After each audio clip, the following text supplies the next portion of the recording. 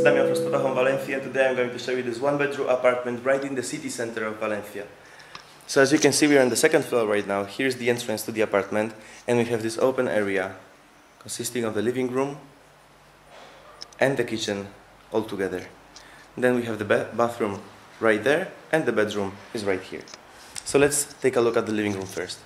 So you can see we've got this very big couch, bed actually, uh, in front of a big wooden table, two armchairs, and a TV on the chest right here.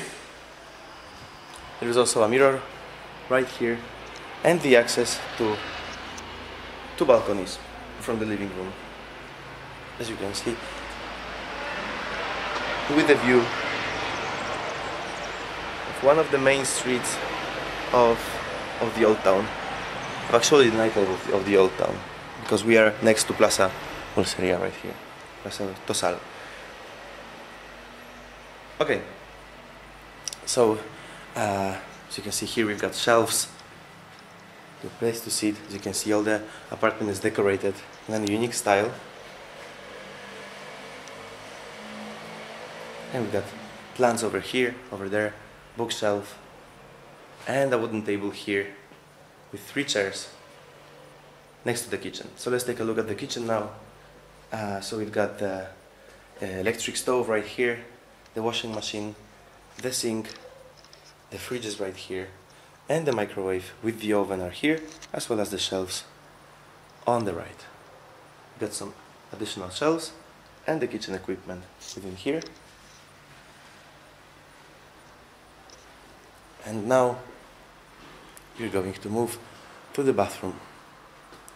So here's the bathroom with a bathtub, sink with a mirror, toilet, and a bidet.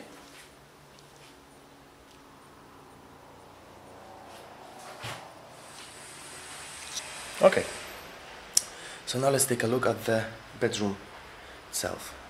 So in the bedroom, we've got a double bed, those decorations right here, uh, built-in wardrobe right here. Right now there are, ten, uh, there the landlord's uh, things in the inside, so I'm going. I'm not going to open it well as here, but it's really spacey. And here on this side, on this side, we've got uh, two armchairs, a painting, and the access here to the balcony with the same view as from the living room. Alright, so thank you very much. That was Dan from Spotahome Valencia and see you next time.